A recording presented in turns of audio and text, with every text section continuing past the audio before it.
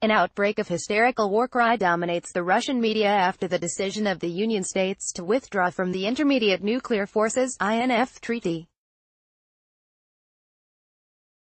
Fire and fury flowed in the comments warning nuclear war between Russia and the US and also about a preemptive strike to paralyze the enemy, the US.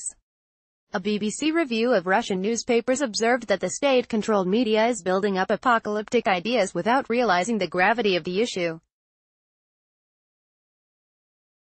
The Intermediate Nuclear Forces Treaty signed in 1987 had been considered an effective barrier to check the escalation of Cold War-like arms race, especially land-based missiles.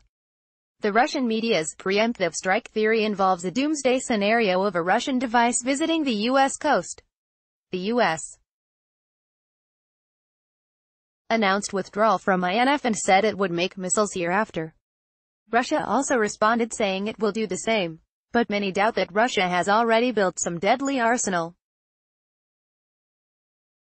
Russia boasts of insane weapon. Russia had claimed that it possesses an insane nuclear weapon in the form of an undersea torpedo that can carry a 100 megaton nuclear warhead and can resist all missile defenses. The weapon can trigger tsunami-like waves and the resulting radioactive holocaust will erase life from several thousands of square miles on the Earth. One newspaper quotes an arms control expert who says if Americans deploy new missiles near Russia's borders, Russia will respond in the same manner and the risk of nuclear conflict will rise. If the U.S. missiles are deployed in Poland or the Baltic states, they'll be able to reach Russia in minutes, he noted. In such a scenario, a retaliatory strike becomes meaningless and the right course will be the doctrine of a preemptive strike. The same expert warns the INF's demise has demolished the inhibitions for the U.S.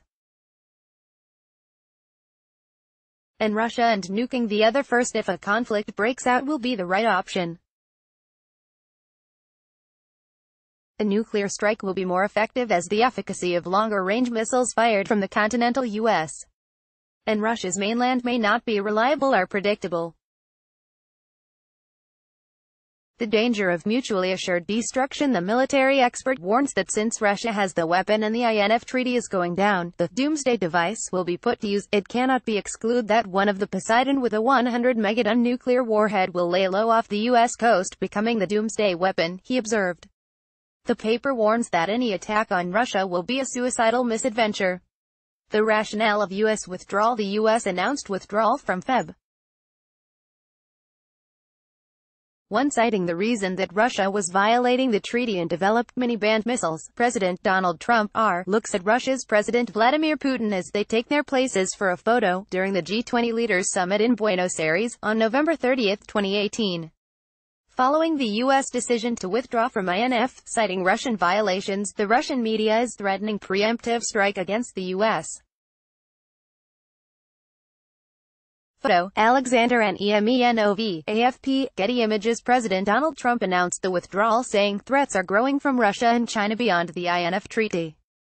The U.S. accused Russia of several treaty violations and alleged that it owns a new missile in the 500 to 5,500 kilometers 310 to 3,400 miles range that is banned under the treaty. But Russia says Washington is using false excuses to walk out of the agreement. In the aftermath of U.S. withdrawal from INF, Russian Defense Minister Sergei Shoigu said President Putin has instructed the defense ministry to go ahead with a tit-for-tat approach.